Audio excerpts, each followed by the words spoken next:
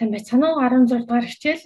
За өнөөдрийнхөө хичээлээр одоо үйл үгийн тэлбэрийнхаа бусад одоо хэрэглээний тухай за мөн тэмдэг нэрийн тухай үзэх болно. Тэгээд дөрвөн шинэ ханд сурнаа. За 16 дугаар хичээлийнхаа эхний үйлбэрээс эхлээд хамтдаа уншицгаая. Аса жокингу овштэй шаваа битэ кайшаа икимас. За энэ үйлбэр нь өглөө гүйчээд усанд орчоод ажилдаа явдаг. За тэгэхээр өглөөнөөс хойш ингээд юу юу хийсэн тухайгаа ингээд он цагийнх нь хувьд дистраалуулаад бичсэн байна тийм ээ. За хоёрт нь консатага аватакара ресторан де шокучи шимашта. За концерт дуусны дараа ресторанд хоол идсэн. За бас л үйл явдлын тийм ээ ингээд дарааг нь бичсэн байна. За гуравт нь Оскава Тэбэмонага ойшидс. Өгүүлбэр Оскагийн идэх юм амттай. Дөрөвт нь Коногиява Ивагүтэ Акаруидс. За хия өрөө Херой өргөн Акаруй одоо гэрэлтэй гэгээтэй. Энэ өрөө өргөн тэгээд гэгээтэй.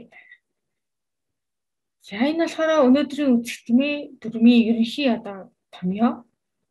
Итгэс нарцгаан за үйл үг тэлбэр за бас дахиад үг тэгээ тэлбэр энэ нь болохоор одоо хоёроос дээш ингээ үйл явдлыг одоо он цагийнхнууд дараагаар нь одоо тэгээ тэгээд гэдэг тоочч хэлэх үед энэ хэлбэрийг ашигладаг байна.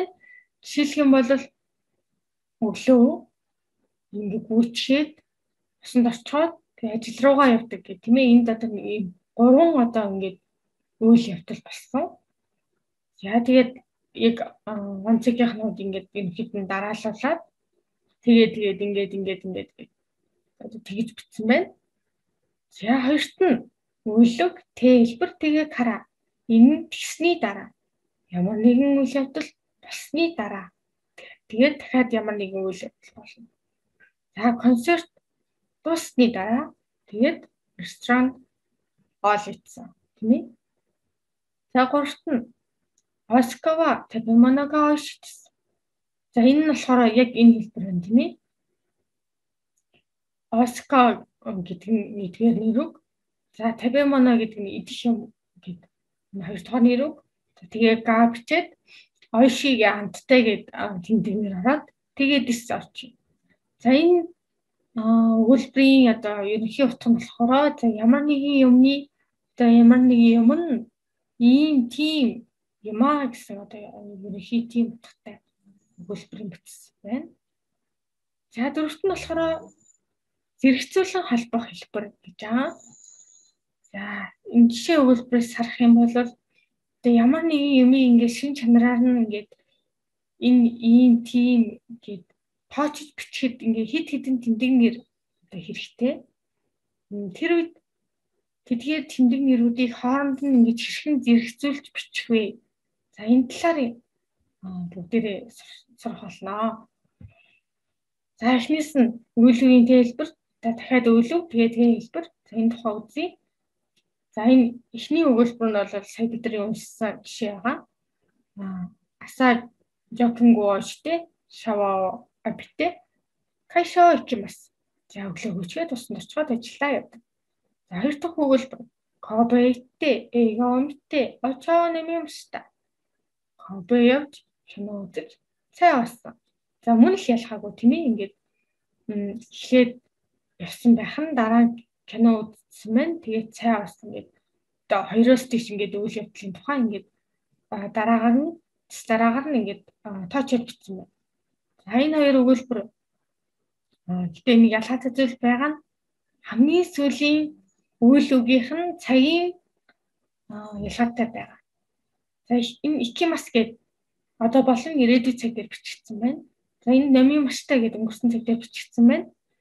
За тэгэхээр гол санаа нь болохоор аа ингээд үйл үг тийм ээ ингээд тэлбэр дээрээ ингээд тэлбэр дээрээ бичигдлээ. Тэгвэл хамгийн сүүлийн үйл үг нь ямар цаг дээр бичигдсэн байна? Тэрнээс нь шалтгаалаад тухайн өгүүлбэр нь өгүүлбэрийн ерөнхий цаг нь тогтоогдно тодорхойлогдно гэсэн. За энэ ингээд үйл нэмийн мөртэй гээд өнгөрсөн цагаа бичсэн учраас энэ үйл явдал төрчтэй ер нь өнгөрсөн толсон гэсэн санаа яхна. За энд одоо болон ирээдүйн цагаар бичигдсэн учраас энэ өгүүлбэр тийм ээ Инжоконго штэ шаваа обите гэдэг төрчтэй одоо болон ирээдүйн цагт одоо хамаарна гэсэн санаа яхнэ. За дараагийнх нь өөлөг тэ тэгээ кара За ямар нэг юм болсны дараа тэгээд дараагаар нь ямар нэгэн бас үйлэг болно тийм үү? Үлбрамши күнээ кайтакара чино кайшаде хатаракимас. Шорондоо очоод шорондоо ер нь бол оцсныхоо дараа аавынхаа компанид ажиллана. За дараа нь консатога аватагара ресторан дээр шикүчи шимэртэй. За бидний дээр хасаг үлбэр байна тийм ээ. Концерт дуусны дараа ресторанд болсон. За. Тэгээ итгэхэр ер нь ямар нэг юм басны дараа тэгээд одоо ямар нэг юм болно.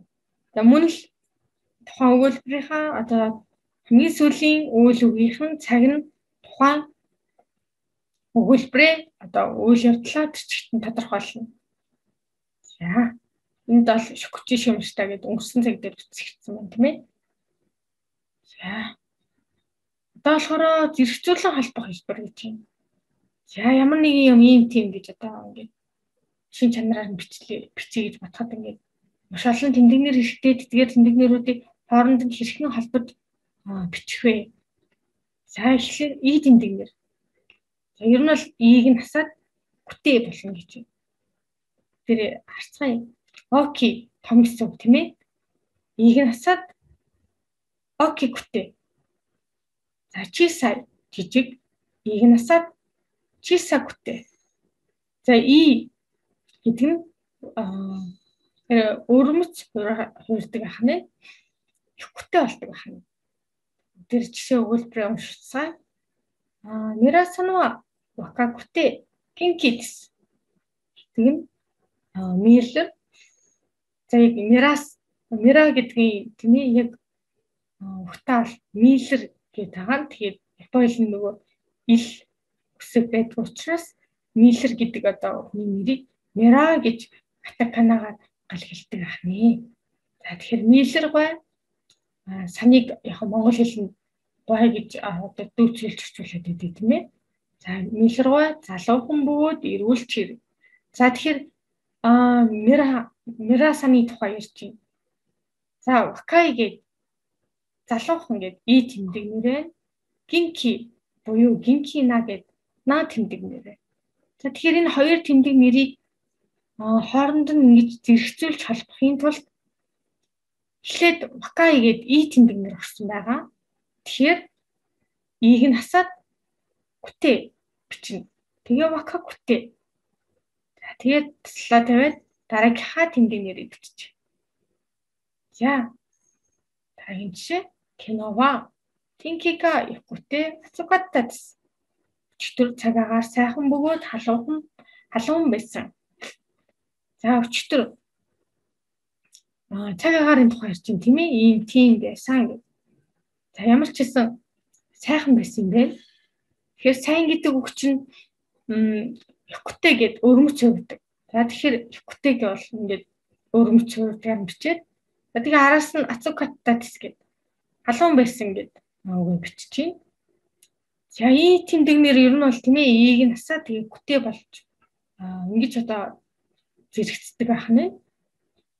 За одоо бүгдээ наа тэмдэгнэрийн тухай үзье. За наа тэмдэгнэр чинь бас нэр нэр болон наа тэмдэгнэрийн ер нь хуваарлууд адилхан байдаг тийм ээ.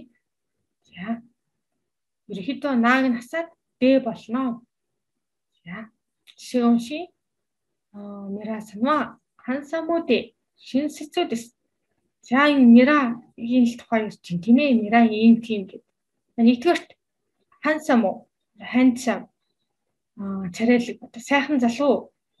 Дараа нь шин сэцүү. За яг шин сэцүү наа гэд аа илтэг гэд наа тэмдэг нэр байгаа. За тэгэхээр хансам уу гэдэг чи одоо наа тэмдэг нэр тийм ээ. За ингээ хоёр ингээд тэмдэг нэр ингээд зэрэгцээд орж ийн. Тэгэхээр хамгийн ихэнд ямар тэмдэг нэр бэ? Тэрнээс нь шалтгаалаад хөрнө.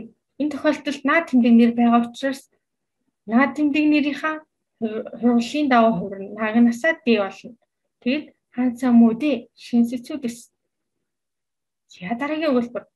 Нарава шисукаде крена мачидс. Нара намгүн бөгөөд сайхан хот. За шисукана гэдэг наа тэмдэгнэр. Тийм учраас нагнасаа дэ бичнэ. За араас нь крена гэдэг одоо гоё сайхан гэдэг наа тэмдэг нэр тийм ээ. Тэгээ мачи гээд нэр орж ийн тэгээд за Та наад тэмдэг нэрийн тухайд бол ийм байна. Нагнасаа дэ болно. За Тэмүүт энд болохоор наад тэмдэг нэр болон нэр үгийн ингээ бүх хурлууд нь адилхан байдаг. За тэгвэл нэр үгэн дээр жишээ нь коксе гэдэг. Оюутан гэдэг нэр үг байгаа тийм ээ. За өгүүлбэр эхнээс нь уншицгаая. Карина санва кокседе Марина санва шфудс. За энд болохоор коксе гэдэг нэр үг. За араас нь бас нэг шфу гэдэг одоо гречтэй гэдэг нэр үг байна. Энэ хоёрыг ерөнхийдөө ингээд зэрэгцэж орсон гэж одоо үзнэ. Тэнгүүт аа нэр өгч нь наа тэмдэг нэртэй адилхан байдлаар одоо хувирна. Тэгэхээр Д болж хувирна гэсэн. За тэгээд хатагтай Карина бол оюутан харин хатагтай Мария бол гэрийн эцэгтэй. За. Тэгэхээр ингээд хэд хэдийн ингээд зэрэгцэн одоо нэр үг за бас хэд хэдэн зэрэгцэн ингээд тэмдэг нэр бас тэгээ нэр үг байлаа гэж бодоход хамгийн ихэлж ямар одоо тэмдэг нэр вэ? Тэрнээс шалтгаалаад и ийг насад гүтээ. За эхлээд за дараагийнх нь болохоор ийм тийм гэж бичлээ. Тэгмүүд хамгийн ихэлж бичсэн тэмдэгнэр нь наа тэмдэгнэр явах юм бол нааг насаад дэ болоод тэгээд араас нь таслаа тавиад дараагийн одоо тэмдэгнэрүүдэд бичээд тэгээд тэгээд гэсэн үг. Яа тэгмүүд нэрэг болохоор ер нь бол наад тэмдэгнэртэй адилхан үрдэг тийм ээ. Тэрийг бас санах хэрэгтэй. За бүгдээрээ жишээ өгүүлбэр уншицгаая. Кино, анио шимштака さあ、Тэ, хоно кэртэ, сэрэгара томорчны аим шта. Сая нөгөө тэ, тэ тийм ээ хэлбэр байна. Өчтөр юу хийсэн бэ? Намын сан, намын сан руу яваад тэгээд ном зээлээд сэрэгара тэгээд найзтайгаа уулзсан. Яг тэгэхээр ерөнхийдөө ингээд өчтөр болсон үйл явдлынхаа тухай тэгээд ингээд ингээд ингээд цаг хугацааны хамруу дараалуулаад тэгээд таачаад бичсэн байна. Хоёрт нь дайгхгүй мате тоёте икимаска. Аа. Кёто икикара жуур рокку банно. Басони нотте дайгхгүй мате оримас. За тэгэхээр сургууль хүртлээ яаж явдаг вэ гэсэн чинь Кётогоос 16 номерын автобус нь суугаад Тэгээд их сургуулийнхаа өмнө буудаг. За. Гуравт нь Имакара Оскажо Кингаку шимаска. Ие хэрүүг хоно тэбэтэкара Кингаку шимас. За энэ болохоор одоо Оско цайзыг үдэц сонирхуу гэсэн чинь үгүй. Өдрийн хоолоо эзнийхаа дараа үжиж сонирхно гэж юм. За тэгэхээр энэ К кара гэдэг хэлбэр байна тийм ээ. Аа өдрийн хоолоо эцснийхээ дараа тэгээд араас нь үзэж сонирхно. За энэ кинг аху гэдэг үг нь ер нь үзэж сонирхох. За зүгээр нэг үзэхээс илүү тэгж одоо илүү ингээд чухалчлан үзэж илүү нэрвчлэн одоо судалж үзэх гэсэн утгатай тийм үг. Жишээлх юм бол одоо Оскожо гэх тийм ээ энэ Оско чинь ер нь одоо энэ жог болохоор илүү ингээд зүгээр нэг үзээд өнгөрөхгүй илүү тийм судалж сонирхож илүү тийм нухацтайгаар үзэх тийм санаа байгаа. За дараагийн өгүүлбэр нь Мария Санаа, Дона Хитоцка, Камига Нага Хитоц. За Мария аль хүн бэ гэсэн чинь одоо тэр урт үстэй хүн гэж юм тийм ээ. Японочд болохоор өснө урт хүн гэж хэлдэг нэ. Хэлдэг яхан гэсэн бид нар бол урт үстэй гэж хэлдэг тийм ээ. За тавт нь тараа чанно житэн шава дэрэдска ано аукте тараши житэн шадас. За тарагийн өндөг дуугүй аль нэ гэсэн чинь тэр цэнхэр шин өндөг дуугүй. За тэгэхээр аа аа гэд цэнхэр гэд и тэмдэгнэр атараши гэд бас шин гэд тэмдэгнэр байна. Хоёр тэмдэгнэр ингээд зэрэгцээ орчих. За тэгэхээр хамгийн шинд байгаа тэмдэгнэр нь ямар тэмдэгнэр тэрнээс шалтгаалаад зэрэгцэх холбоос нь хувирдаг тийм ээ. За энэ тохиолдолд аа гэд и тэмдэгнэр байна. Тэгэхээр ийг нь хасаад күтээ. Аа күтээ атараши гэд гэж одоо зэрэгцүүлж холбоно гэсэн. За 6 нарава донно мочидска шисак шизукаде кигена мочидс. За нараа юмшуу отвэ чимээгүй чивэрхэн сайхан отоо. За тийм ээ ингээ хоёр хоёр тэмдэгнэр байна. Эхний тэмдэгнэр нь наад тэмдэгнэр. Тэгэхээр наад тэмдэгнэрийнхаа дагуу наг нь хасаад дээг нь бичээд одоо ингэж зэрэгцүүлж холбож байна. За далаад нь анахтава дэрэдска. А Карина Сандис Индонезиа киндэ Бужидай какуно гаксе рүү гаксе. За.